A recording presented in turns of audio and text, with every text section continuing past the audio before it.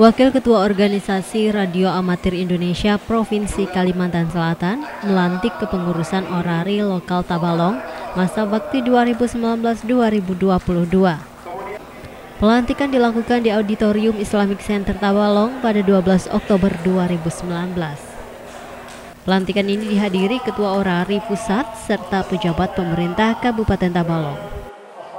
Nur Hasani kembali terpilih sebagai Ketua Orari Lokal Tabalong untuk periode 2019-2022.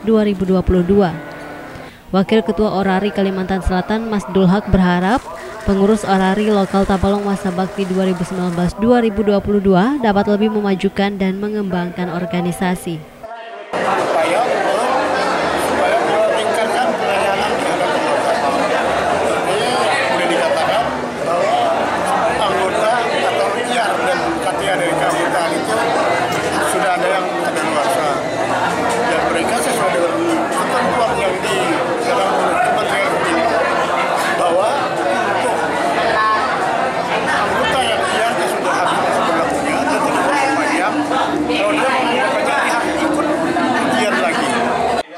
Setelah resmi dilantik, Ketua Orari Lokal Tabalong Masa Bakti 2019-2022 Nur Hasani mengatakan, Orari Lokal Tabalong akan menjalin sinergi dengan semua pihak, baik pemerintah daerah maupun organisasi kemasyarakatan lainnya, terutama dalam kegiatan sosial seperti bencana alam, kesehatan, serta kegiatan kemanusiaan lainnya.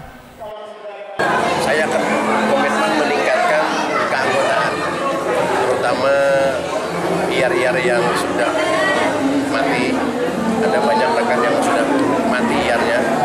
Insya Allah dalam era akan datang, walaupun bagaimana itu tetap saya ajukan. Setidaknya saya akan menambah anggota orari lokal Tabalong. Nur Hasani menambahkan saat ini anggota orari lokal Tabalong berjumlah 263 orang. Ia menargetkan ke depannya organisasi ini bisa meningkatkan jumlah anggotanya hingga 400 orang. Ruliandi Rahman, TV Tabalong melaporkan.